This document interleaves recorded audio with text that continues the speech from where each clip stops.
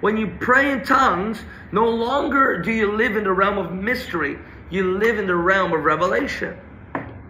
Some things cannot be broken off of you unless you are strengthened in the spirit by praying in tongues. Prophecy and tongues, it is communication gifts. All the other gifts has to do with perspective, conscious mind, and it has to do uh, the mind of God, and it has to do with the hand of God. You follow me? So I believe praying in tongues is the most important spiritual gift.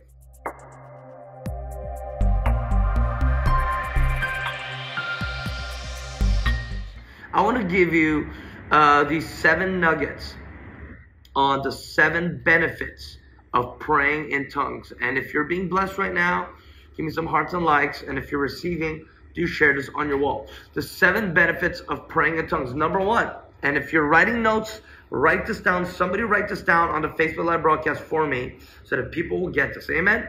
Number one, the first benefit of praying in tongues is that it strengthens you.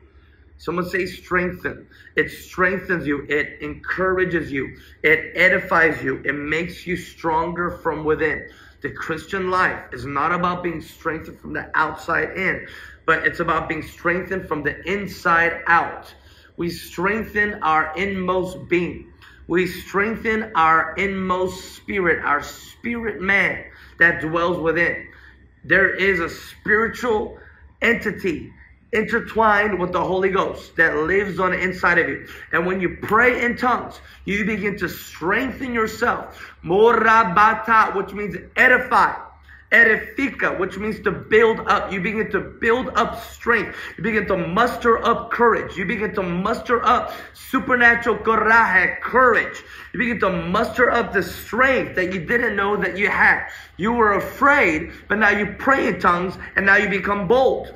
You were weary and you were sad and you were stressed, but now you begin to pray in tongues, and you become strengthened, and now you begin to feel this supernatural power overcome you and take over your body, and now you feel like Superman, Superwoman, a supernatural being, and you feel built up in the spirit, and no matter what's coming at you, because you're built up and you're strong now, because you've been praying in tongues, now you're ready to overcome all obstacles. So the first benefit of praying in tongues is strengthen. Someone say strengthen. All right, when you pray in tongues, it strengthens you. Let me ask you this. Have you been feeling tired? Have you been feeling weary? Have you been feeling weak? Have you been feeling like you're just lethargic. You're lazy. You're sluggish.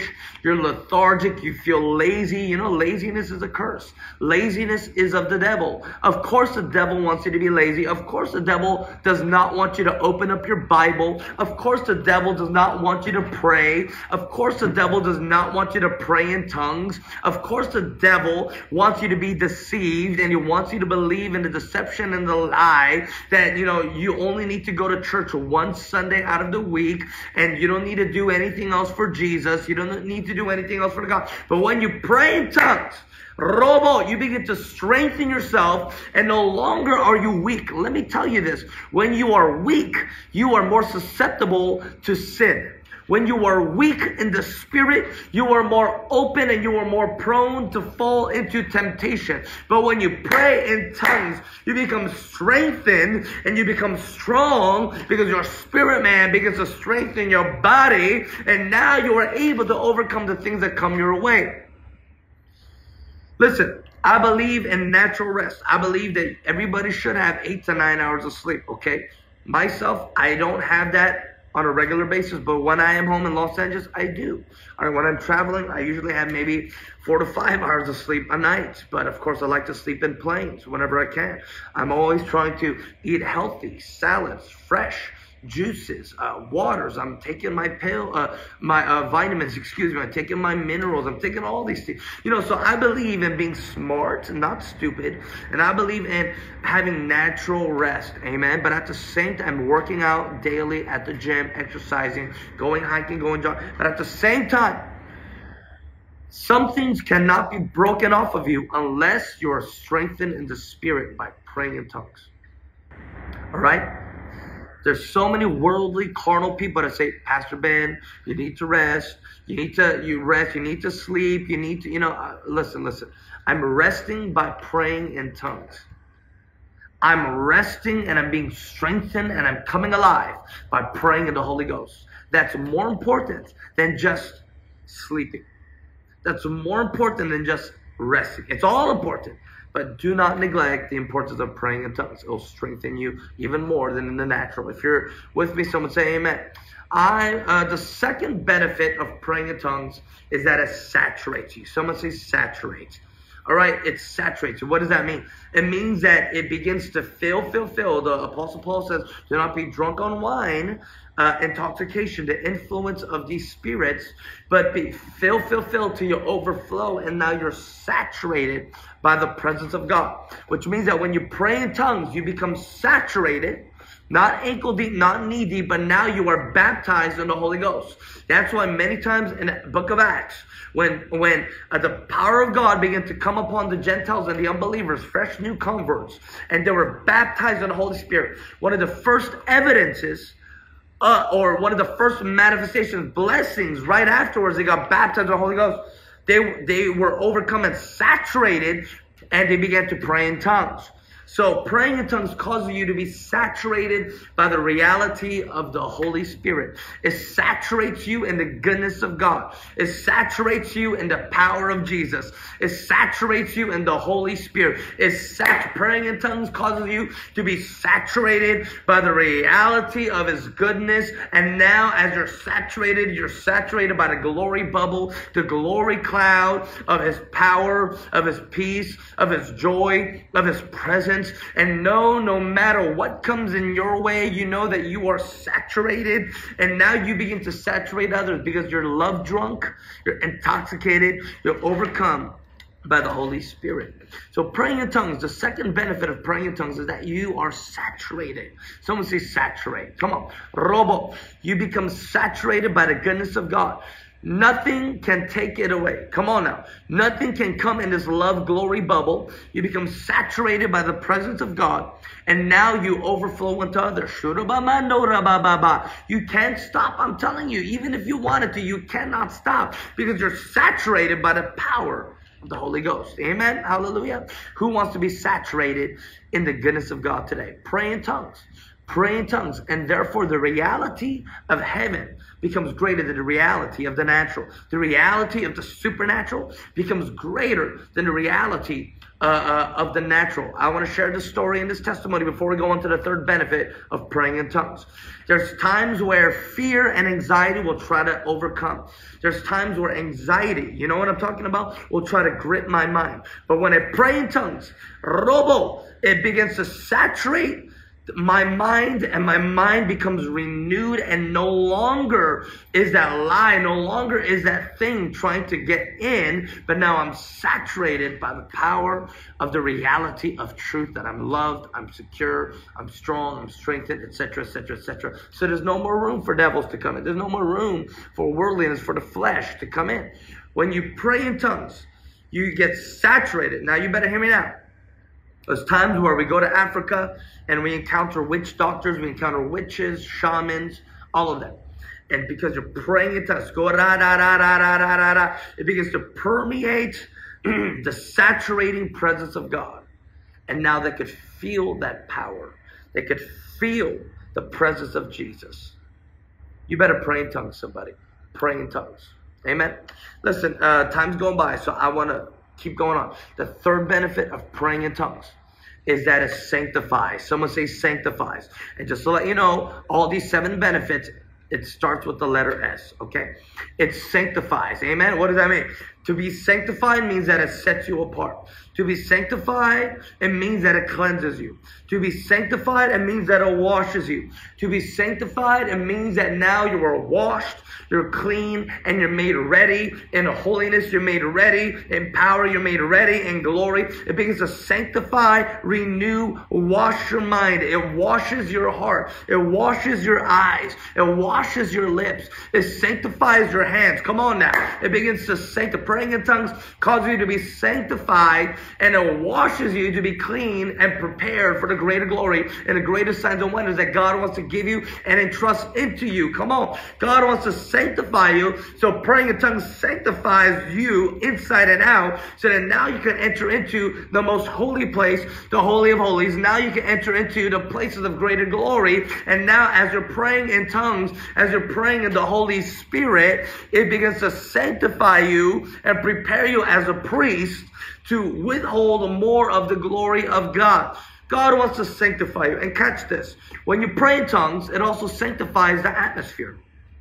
When you pray in tongues, not only does it sanctify your mind and your heart and your emotions, come on, from all the crud, all the confusion, all the crap, all the junk, all the emotional bio, all of the things that are trying to clutter you. It sanctifies you, washes you clean, gives you a pure conscience, a clean conscience. And when you pray in tongues, it also cleanses the atmosphere. Come on, you go into places where it's demonic. You could feel the stress. You could feel the anger, the dissension, the fighting. You could feel uh, the anxiety. You could feel the demonic warfare. But when you begin to pray in tongues, it sanctifies, cleanses, the atmosphere. You better hear me now. So when you pray in tongues out loud and it sanctifies, cleanses the atmosphere, it actually attracts the power of God. It attracts angels. It attracts the Holy Ghost to begin to come. He says, now the atmosphere is cleansed and sanctified. So now I can begin to come and pour more of myself out in this place. Come on now. The Lord wants to cleanse your atmosphere. The Lord wants to cleanse your heart, your mind. The Lord wants to sanctify, amen, your thoughts. Have you been feeling a little yucky, a little mucky? Have you been feeling a little muddy? Like, you know, you went through some things. Listen, all the time. I live in the city of LA. Hollywood is just right down the street from me, okay? All the time, I need to be prayed up in tongues. I need to be prayed up in the spirit. Don't try to come into supernatural places where there's principalities at war and at work and there's all this stuff going on. Come on, you need to pray in tongues and sanctify your mind, sanctify yourself, be spick spot, spot clean. And a lot of times it's not even you, it's just the atmosphere you're in. So pray in tongues, sanctify yourself. Amen. The fourth benefit of praying in tongues is that it sharpens you. Someone say sharpen. It keeps you sharp, not dull. Have you ever tried to cut meat with a dull blade? There's no teeth on it. Come on, grandpa. Come on, grandma. How are you going to try to chew and eat when you have no teeth? It's like baby food. God wants to keep you sharp. God wants to keep you razor sharp with blades that are so sharp that it just cuts through like butter, like B U T T E R. It cuts like butter. God wants you to be sharp. Come on. He wants you to have sharp vision. 2020 vision. He wants you to have clarity. No witchcraft. Come on. No deception. Come on. Robo. No emotional warfare. No clutter. No crap. You will be sharp in the spirit and you will be able to see. You will be able to sense. You will be able to discern. You see, the Jezebel spirit wants to confuse you, wants to clutter you, wants to cause you to be uh, bogged down with heavy baggage the Jezebel spirit wants you to, uh, you know, just be all over the place. But God wants to keep you sharp. He doesn't want you to be tied and mixed in with emotional and mental and spiritual confusion. But He wants to keep you sharp. Not like a grandma, grandpa's teeth, where you need to rely on dentures. You need to rely on somebody to chew and break down the food for you. Come on, prophet, break it down. But God wants you to be sharp. Amen. Which means clarity. 2020 vision. Some of you do not have sound minds. Some of you feel like you are, uh, you're just dull. You know, you're just boring. You're just always missing it. You're just all over the place. Listen, that's not God. That's not Jesus. God wants to keep you razor sharp. Your eyesight laser sharp like eagles. Your eyesight your speech, your words, the things that you do, every single thing that you plan and that you do, it will be sharp, it will be focused, it will be cutting edge, it will be quick, it will be incision. Come on. Can you imagine a doctor trying to do surgery on your heart? Intricate, intimate, very important areas in your body, in your organ, with a dull knife, with a knife that was dull, with a knife that was used from surgery before, and it still has crusty, black, dried up blood from somebody else. Can you imagine? That is against ethics. That is evil.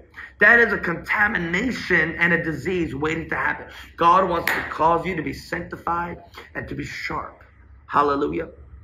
And I believe that God, um, when we begin to pray in tongues, we are sharp. We're not lethargic. You know what I'm saying? That's why a lot of times before I preach, a lot of, most of the time I'll preach in the evenings, okay? Because a lot of revival services are in the nighttime or in the evening. So a lot of times before I uh, before I preach, I do not eat. All right, I do not eat. Like on Sunday, uh, I don't even remember if I ate. Uh, you know, I came in from Canada, shaka. but today, all day, I, I did not eat all day today. All right, uh, it just happened that way. I'm I'm fasting today from food. Uh, I am gonna have dinner with my father after this broadcast. But you see, when you fast, when you don't eat, you're sharp. And the reason why a lot of people you know, uh, they feel sluggish when they come to church. They feel sluggish when they come to service because they just had a big fat buffet, heavy meal. So now you're sleeping and you're snoring and you're tired because your body's trying to process and digest all that. No, no, you need to be sharp, people of God. You need to be sharp. The devil wants you to be always be stuffing your mouth with food. Come on. But why not allow your mouth to be full with blessings, with tongues? Robo sobababa kaya roboto. You'll be sharp you'll be ready for battle. Someone say amen. Stop being distracted. Stop being, all right? Is anybody receiving right now? All right. The fifth benefit of praying in tongues is secrets. Someone say secrets. Come on now. All right. The Bible says that praying in tongues, we utter mysteries to God. We utter mysteries to God. The fifth benefit of praying in tongues is secrets. We utter mysteries to God. What does that mean? Mysteries. That means that something that's hidden, something that's concealed. Okay? Listen, I'm not going to give you the PIN code to my bank account. I'm not going to give you the PIN code to my credit card. I'm not going to give you the I'm not going to give you the key, the code to have access to what's concealed. Why would I reveal secrets to you? Come on, I don't know if you're gonna steal. I don't know if you're gonna have bank fraud. I don't know if you're gonna do these things to my. Come on, why would I reveal secrets to you when you and I have not uh, secured that trust, that level of trust? Why would I reveal these secrets to you? So when you pray in tongues, secrets become revealed to you. When you pray in tongues, no longer do you live in the realm of mystery, you live in the realm of revelation. You better hear me now. The will of God is not a dark mystery. The will of God is not some dark, mysterious thing where you're always needing to search to find it. No, the will of God is so simple. The will of God, first and foremost, is the will of God. Secondly, the will of God is Christ Jesus living in you. And thirdly, the will of God is you being filled and led by the Holy Spirit. So simple. All right? The will of God is the word of God, all right?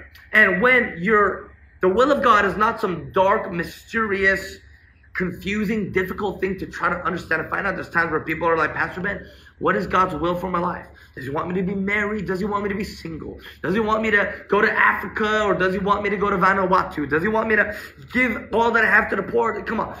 It's so simple. And when you pray in tongues, you're strengthened. You're sharp.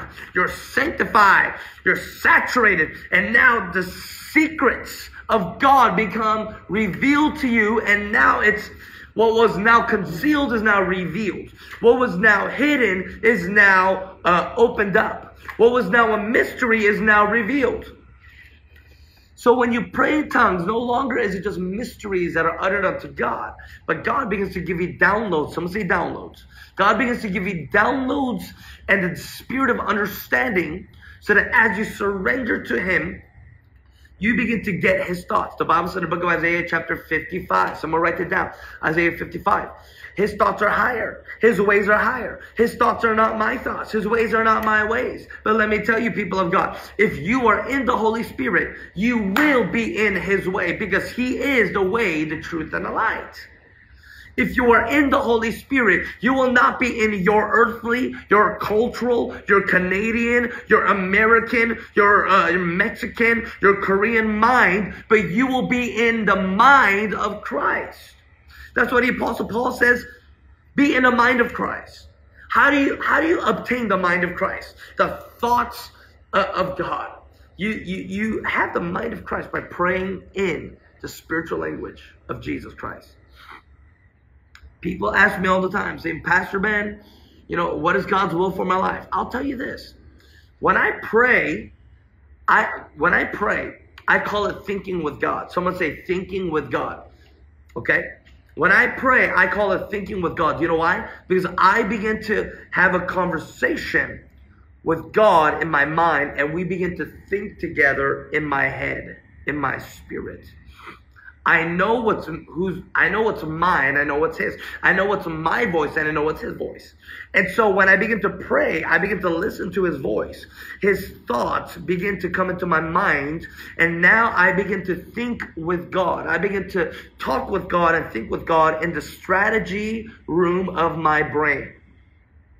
It's so simple. God wants to reveal secrets to you. What does that mean?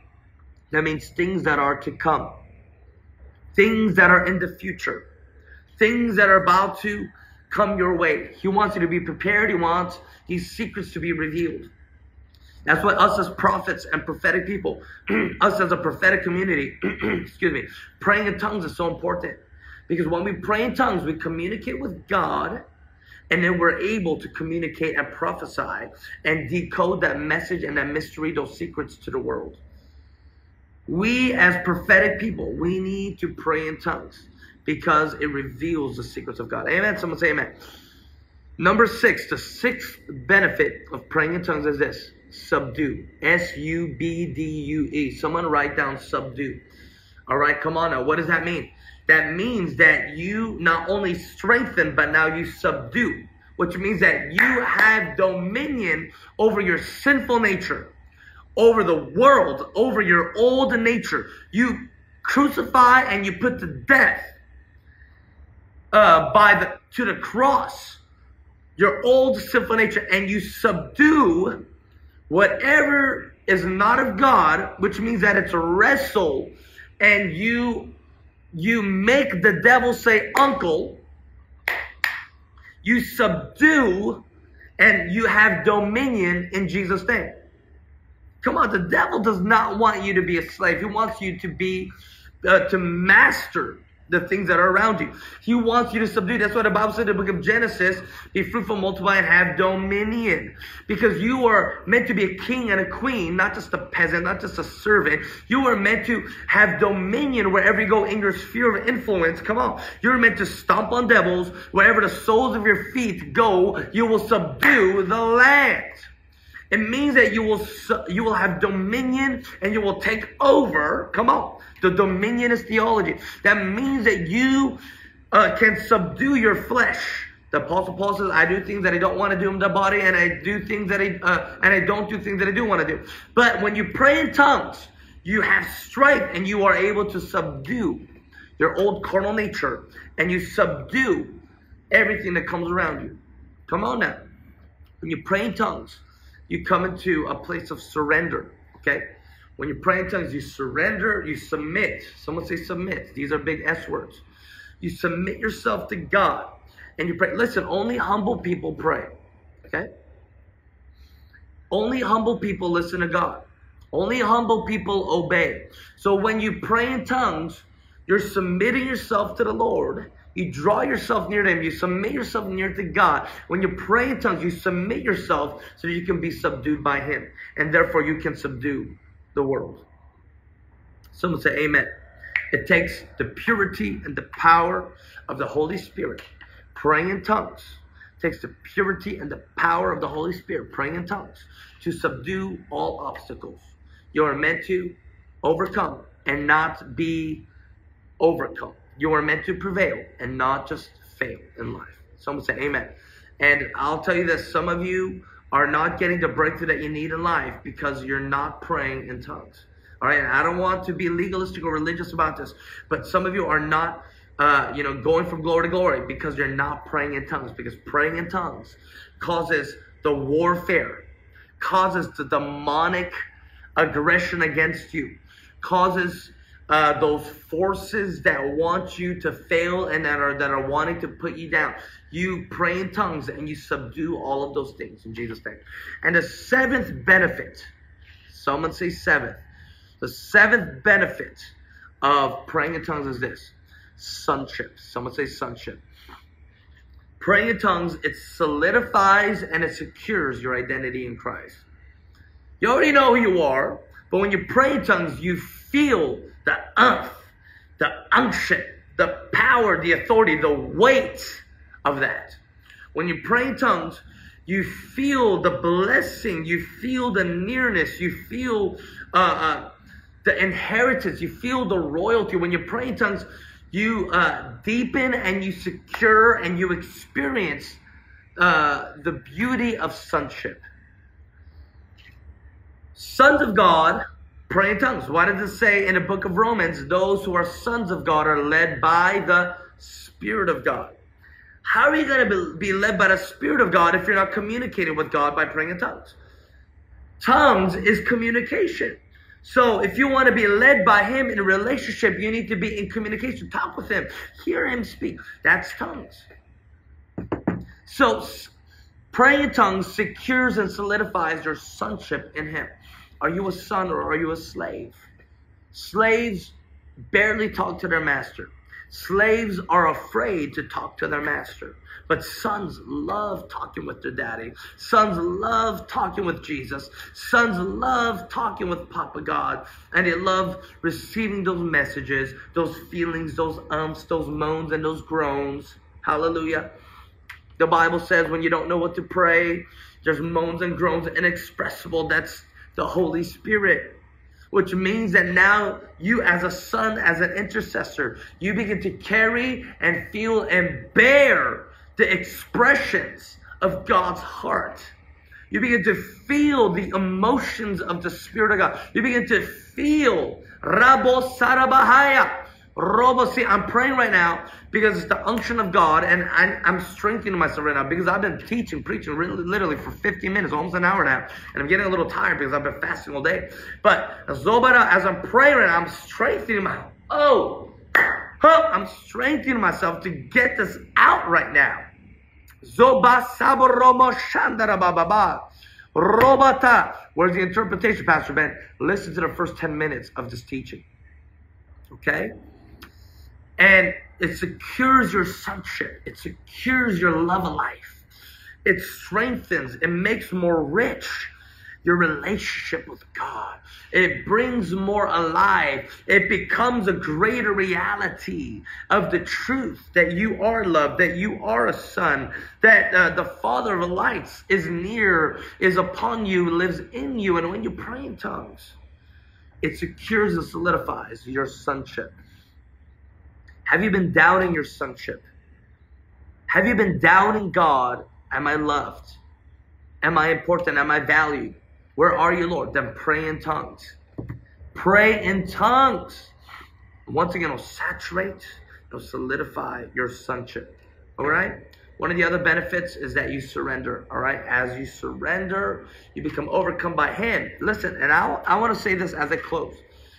Um, many times I'll teach and I'll tell people that praying in tongues to me is the most important gift of the Spirit. And let me tell you why. Because praying in tongues, I, I call it the rudder gift. You know, the James says that your tongue is like a rudder of the ship. Though it's a small thing, your tongue, it has the power to influence the motion of your whole body and the motion of your life. The Bible says there's power of life and death in your tongue. So I call the gift of tongues the most powerful and important spiritual gift. Why? Because it means that you're in communication with God. And it means that when you pray in tongues, it becomes the rudder for the rest of your spiritual gifts. You follow me? So when you pray in tongues, it causes you to so surrender in this love relationship and communication with Jesus. And as you surrender, you become saturated, you become overcome. And that's how you begin to grow in prophecy. That's how you begin to grow in miracles. That's how you begin to go into open heavens open visions, into trances. That's how you go into First Corinthians, where the Apostle Paul says, "I," excuse me, maybe Second Corinthians chapter twelve, where uh, the Apostle Paul says, "I, I was encounter, I was, I met the, I knew somebody who was in third heavens. He went to the third heavens above because he was praying in tongues. He was so communicating with Jesus, so lost in love with the Lord, praying in the Spirit, as Jude said, so lost in love that he was overcome and was saturated." And he was so surrendered that he was caught up in visions, in encounters, in third heaven encounters, in third heaven, open heaven visions. He was so encountered in trances and ecstasis. That word, uh, Apostle Paul in Second Corinthians 12, I believe, uh, that talks about uh, the third heavens. Uh, uh, that word is bliss or is ecstasis, which means the ec- ecstatic encounter, vision, uh, oneness with God, with Jesus. And that's what Christianity is meant to be. It's meant to be an encounter with God. You are an encounter with Jesus. You are an encounter with the Holy Ghost that's waiting to be released to the, to the world. But when we pray in tongues, that begins to be the rudder of the ship and it begins to move us in forward motion, cause us to be more surrendered. And now, robo somba, the, the gifts of God begin to flow the power of God begins to flow. More prophecies, more miracles, more visions and encounters, more dream life begins to flow. That's why I call praying in tongues, the gift of tongues, the most important spiritual gift because it is communication. Prophecy and tongues, it is communication gifts. All the other gifts has to do with uh, uh, uh, perspective, conscious mind, and it has to do uh, the mind of God, and it has to do with the hand of God. You follow me? So I believe praying in tongues is the most important spiritual gift. And God wants to, bam, grow you in this gift, in the things of God. And uh, wow, I'm so drunk. I'm so whacked on the Holy Ghost. I've been teaching for literally for an hour now. But guys, I love you. And I pray that you were blessed by this teaching. I know we gave a lot right now. And uh, for those that are, uh, you know, questioning the importance, the validity of the gift of tongues, the gifts of the Spirit. What does it mean to interpret tongues? I said all that in the first 20, 25 minutes of this teaching to lay the foundation. But I believe, people of God, the gifts of the Spirit are still alive and active and well now today. And God wants is still releasing it because the Bible says in the book of Joel, chapter 2, that God is pouring out his spirit. And when that happens, not only is there prophecy, but there is tongues and there is signs, wonders, and miracles. And I believe that the Holy Spirit wants to cover you with this glorious presence. I love you guys. Wow, I'm so whacked right now. I'm so you shut up, Baba.